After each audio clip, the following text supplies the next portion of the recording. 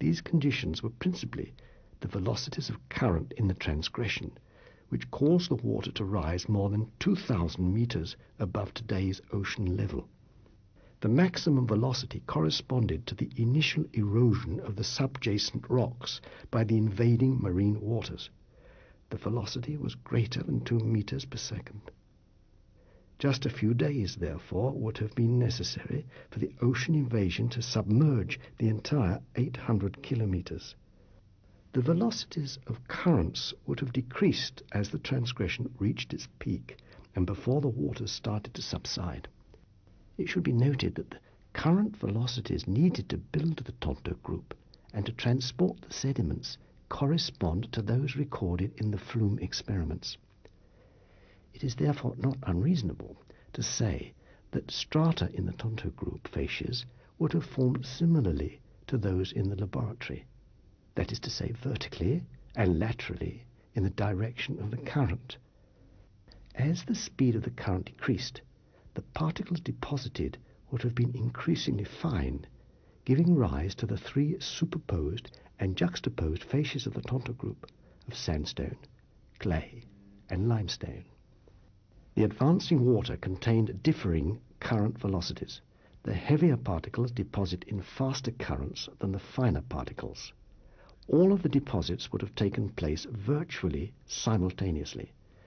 The resultant formation of the larger particles of Tapeats sandstone at the bottom, the lighter bright angel shale or clay in the middle, and the very fine particles of Muav limestone on top is exactly what the Flume experiments, Walther's law, and the laws of sedimentary mechanics would predict.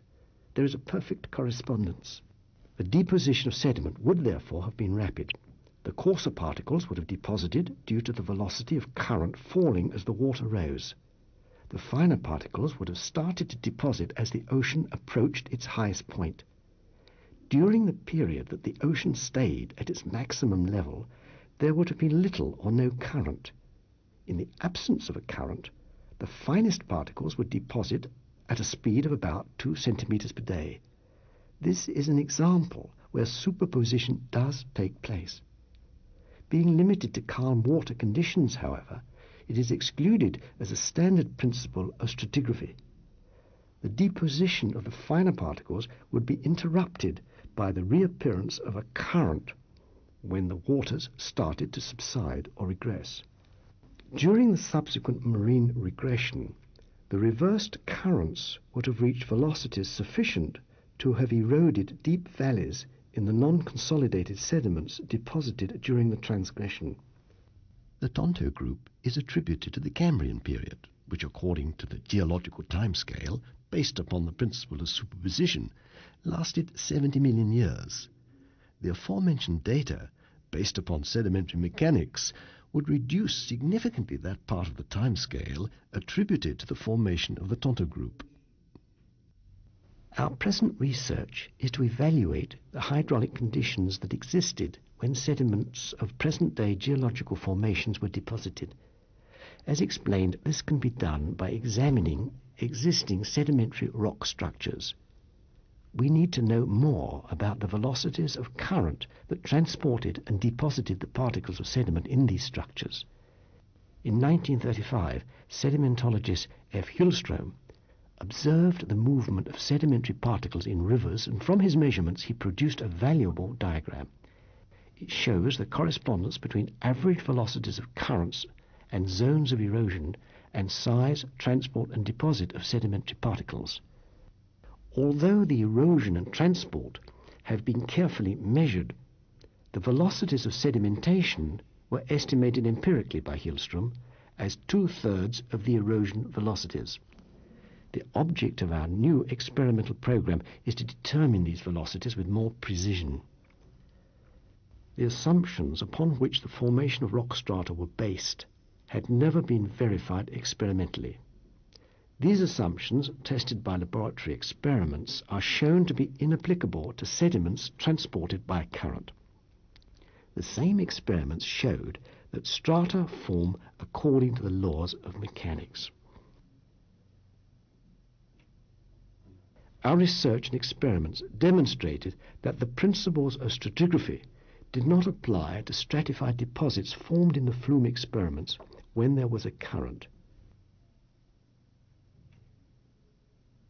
Our experiments confirmed and explained on the scale of strata what Johannes Walther had observed on the scale of facies. They showed that the principles of superposition and continuity did not apply in either case. Neither facies nor strata in sequences succeeded each other chronologically. They were deposited simultaneously according to sequence stratigraphy. Rubin and Southard's flume experiments and submarine observations established the relation between hydraulic conditions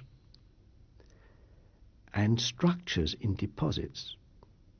These deposit structures are found in sedimentary rocks. From them, the original hydraulic conditions and particularly velocity of current can be determined, as Austin did in the Tonto group. His valuable work is completed by the mechanism of strata formation discovered by our experiments. Superposition and continuity only apply in limited conditions, such as fine sediments in suspension in calm water. In a transgression, regression, or progradation, where there is a current, the principles no longer apply. According to the definition, a principle should apply generally.